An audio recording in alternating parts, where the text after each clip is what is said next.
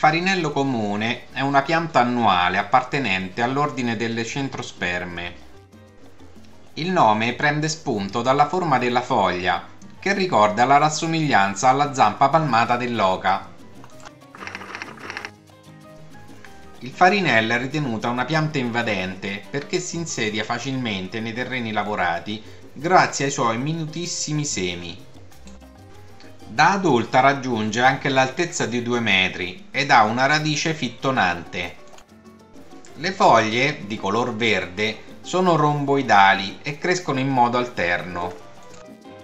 Sono leggermente dentate, quasi bianche da giovani sulla pagina inferiore per via della presenza di una tipica farina che rende il riconoscimento di questa pianta inconfondibile.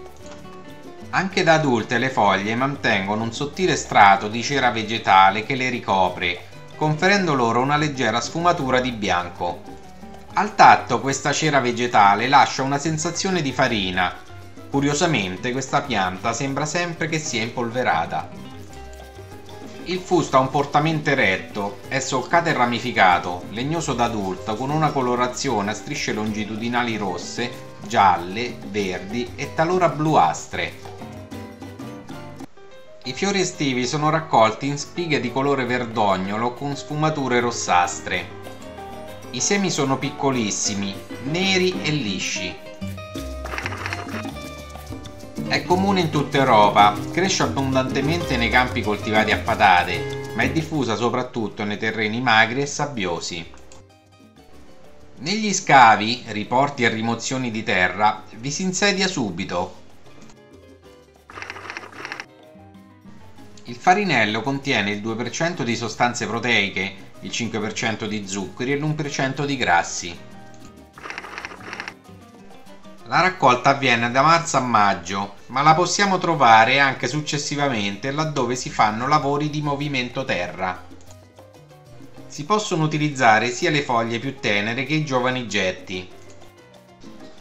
In genere i getti si raccolgono quando sono alti una decina di centimetri, mentre le foglie possono essere raccolte anche dal fusto quando la pianta è già un po' adulta.